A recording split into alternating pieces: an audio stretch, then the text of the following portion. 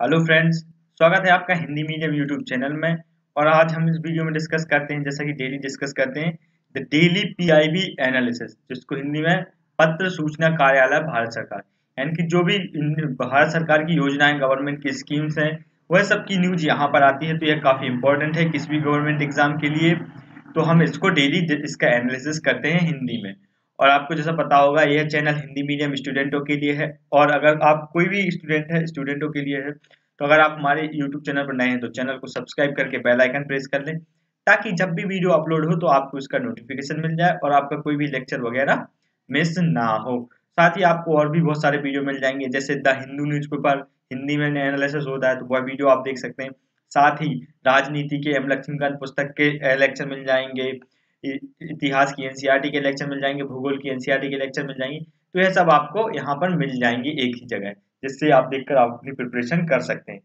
तो इसी के साथ अगर आपको वीडियो पसंद आते हैं तो इन्हें लाइक ज़रूर करें और कमेंट करें क्या पसंद आ रहा है, क्या पसंद नहीं आ रहा है डिसलाइक भी कर सकते हैं, पसंद नहीं आ रहा है तो साथ ही हिंदी मीडियम स्टूडेंटों के साथ वीडियो को शेयर करना ना भूलें। तो चलिए चलते हैं आज के एनालिसिस की तरफ़, आज है 25 फरवरी 2019 तो चलिए देखते हैं आज की पहली न्यूज़ तो पहली न्यूज़ है हमारी मुख्यमंत्री कार्यालय से, जहाँ पर प्रधानमंत्री कल यानी आज 25 फरवरी 2019 को राष्ट्र को राष्ट्रीय युद्ध स्मारक समर्पित करेंगे। राष्ट्रीय युद्ध स्मारक की बात की जा रही है।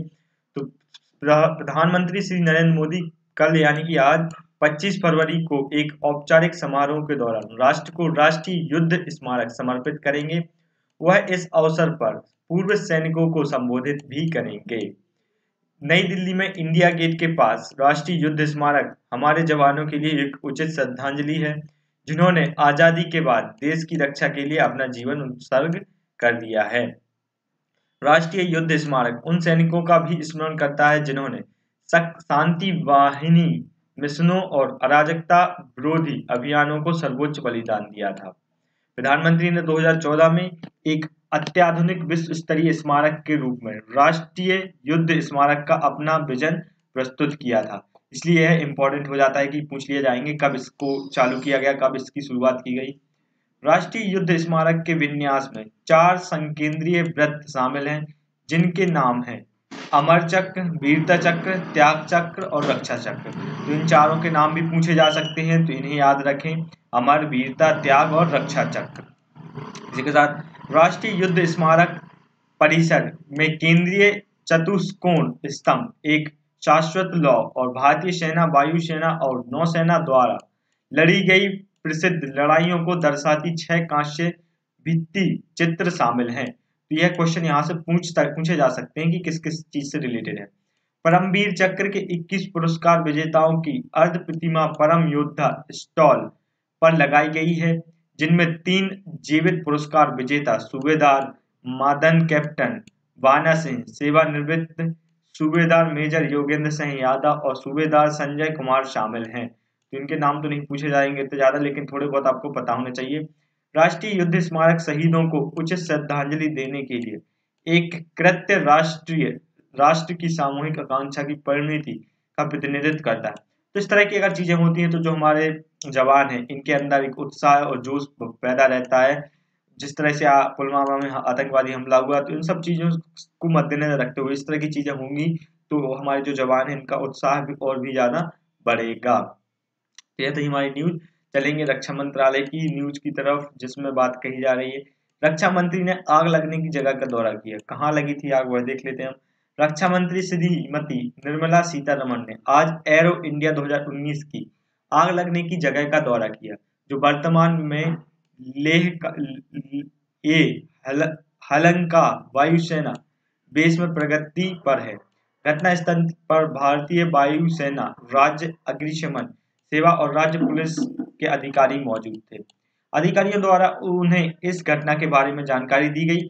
रक्षा मंत्री ने वाहन मालिकाओं द्वारा किए गए बीमा दावों दावों को सुगम बनाने के लिए उठाए जा रहे कदमों के बारे में जानकारी ली। रक्षा मंत्री ने अधिकारियों को यह सुनिश्चित करने का निर्देश दिया कि लोगों द्वारा बीमा दावों की सुविधा प्रदान करने के लिए आरटीओ हेल्प डेस्क में बीमा कंपनियों के प्रतिनिधि शामिल हों। बाद में रक्षा मंत्री की सी में एलओसी पुलिस आयुक्त अग्नि सेवा में महानिदेशक और अन्य वरिष्ठ अधिकारियों के साथ कर्नाटक के मुख्यमंत्री के साथ बैठक निर्धारित है। तो यह, यहाँ पर यह कार्रवाई की जा रही है। इसी के साथ साथ रक्षा मंत्री ने श्रीमती निर्मला सीतारमन को पी फोर पार्किंग क्षेत्र में तेज़ी से फैल रही आग को नियंत्रित करने के लिए वायुसेना स्टेशन येल, येलहंका में यूरो एरो इंडिया के ऑपरेशनल कंट्रोल सेंटर द्वारा की गई त्वरित कार्रवाई के बारे में बताया गया। आग 30 30 किलोमीटर प्रति घंटे से अधिक की रफ्तार से चलने वाली तेज हवाओं के कारण तेज़ी से फैली। राज्य के अग्निशमन विभाग के साथ ओसीसी कमांडर ने आग बुझाने के लिए तेरह से अधिक फायर टेंडर सात वाटर बोर्ड्स और तैतीस अग्नि वरुण वाहनों का क्या एक साथ उपयोग किया। यह इस तरह की चीज़ की गई। इसके साथ अतिरिक्त वायुसेना के छह क्रेशर फायर टेंडर जिसका विमान दुर्घटना के मामले में इस्तेमाल किया जाता है। का उपयोग आग के तेज़ी से फैलने को नियंत्रित करने के लिए किया गया था। और पूरे आग को 45 मिनट के भीतर और 3000 लीटर से अधिक फोम के उपयोग के द्वारा बुझा दिया गया। इन समयबद्ध कार्रवाइयों ने सुनिश्चित किया कि क्षति एक छोटे से क्षेत्र तक सीमित रहे और इसकी वजह से बड़ी क्षति नहीं हो पाए। तो आप देख सकते काफ़ी शानदार तरीके से यहाँ पर किया गया और आग को कंट्रोल किया गया। इस तरह की जो आपदाएँ होती हैं, इनसे रिलेटेड क्वेश्चन यहाँ पर पूछे जाते हैं तो आपको थोड़ा बहुत यहाँ पर आइडिया होना चाहिए। चलेंगे अगले मंत्रालय की तरफ़। सूक्ष्म, लघु एवं मध्यम उद्यम मंत्रालय। तो इनके जो मंत्री हैं, उनका नाम आप ज़रूर बताएँ, काफ़ी इंपॉर्टेंट है। ठीक है? तो आप इनका नाम कमेंट में बताएँ, थोड़ा गूगल पे सर्च करेंगे तो थोड़ा आपको जानकारी मिलेगी। अधिकार विहीन खंडों के महिला उद्यमियों के सशक्तिकरण एवं एम एस एम ई की पहली कॉन्क्लेव क्लब मुंबई में है, ठीक है? सूक्ष्म, लघु और माध्यम उद्यम मंत्रालय एम एस एम ई महिला उद्यमी, उद्यमियों का सशक्तिकरण 2019 अधिकार विहीन खंडों के महिला उद्यमों का वित्त पोषण और उन्हें सक्षम बनाने पर कल मुंबई में एक कॉन्क्लेव का आयोजन करेगा। यह अधिकार विहीन खंडों के महिला उद्यमियों को सशक्त बनाने और विभिन्न व्यापार अवसरों और व्यवसाय करने की उनकी प्रगति और सफलता में सक्षम बनाने से संबंधित अपनी तरह का पहला कॉन्क्लेव प्रयास है। तो अगर महिला सशक्तिकरण पर कोई निबंध वगैरह लिखना हो तो इसमें आप यह पॉइंट याद याद कर सकते हैं कि यह एक प्रयास किया गया है सरकार की तरफ़ से। इस कॉन्क्लेव का आयोजन एम एस एम ई मंत्रालय के राष्ट्रीय S C S T hub पहल के तहत किया जा रहा है, जिसे इसका नाम भी याद रख सकते हैं। किसके तहत किया जा रहा है? इसके तहत। जिसे एस सी उद्यमियों के लिए एक सहायक परिस्थिति की तंत्र विकसित करने के लिए लक्षित किया गया है। एक स्थायी व्यवसाय की स्थापना करने तथा उसे चलाने में एस सी एस टी महिला उद्यमी को सक्षम करने के लिए वित्त पोषण या सुविधा, जोखिम और विकास मंत्र का आकलन करने के मुद्दों पर कल दिन भर चलने वाले कार्यक्रम के दौरान चर्चा की जाएगी। काफ़ी शानदार स्टेप उठाया गया है एक तो गवर्नमेंट के द्वारा। साथ ही यहाँ पर और भी चीज़ें दी गई दो point M S M E राज्य मंत्री, स्वतंत्र प्रभाव श्री गिरिराज सिंह। इसका ना, इनका नाम पूछा था कमेंट में, यही आ गया।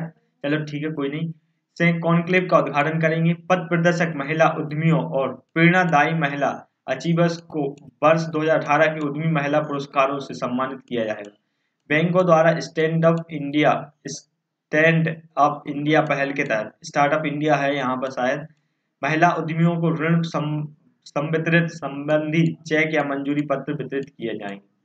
विचार विमर्श में बैंकर निवेशक और महिला उद्यमियों के साथ एम एस एम ई मंत्रालय के वरिष्ठ अधिकारी भाग लेंगे। तो यह थी हमारी न्यूज़ और आज मंडे आज पहला दिन है तो ज़्यादा न्यूज़ नहीं आती हैं।